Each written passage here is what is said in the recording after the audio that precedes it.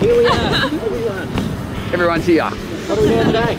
Pescado. First What's, skydive. what's the occasion? Um, I don't know. It's just You're good, celebrating good day leaving. for Pescado. Yeah. Escaping Townsville.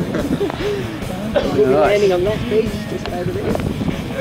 Nice. Maggie Island good in the background. So how high are we going today? Twelve thousand. 12,000 feet. Oh, well, Mick, at least we can nearly guarantee a nice, smooth flight because he's not flying. Yeah, we're safe. Nasty. Our pilot, finally right. thrown out the plane. Yeah, about time. Bloody oath. Sick of pulling the hairs on your legs. All right, we'll see you in the sky very shortly, guys. All right. See ya.